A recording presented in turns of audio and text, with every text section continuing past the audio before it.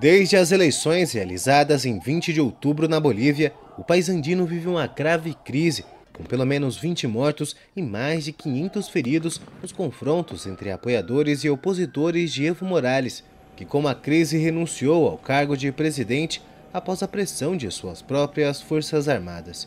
Morales recebeu asilo no México, onde em entrevista exclusiva à agência F neste domingo pediu união e assumiu seu medo de uma possível guerra civil. Tenho muito medo. Primeiro, hago um chamado a mi pueblo, seja del campo como de la ciudad, sean pobres, humildes o sean mmm, pudientes y que ostentan el poder económico. No podemos estar enfrentados, peleados entre bolivianos.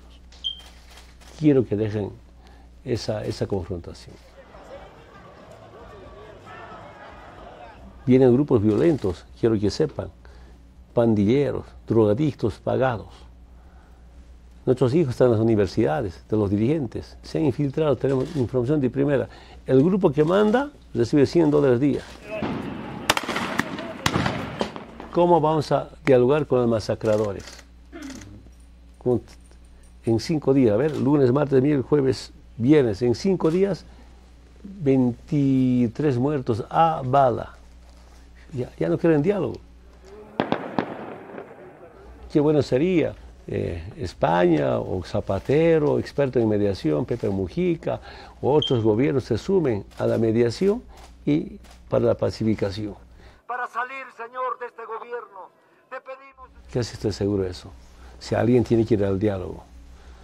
Entonces está es difícil la situación social en Bolivia, en mi posesión, que haya diálogo con mediadores, pero también el diálogo va a ser por tres cosas, por la vida, por la democracia y por la patria.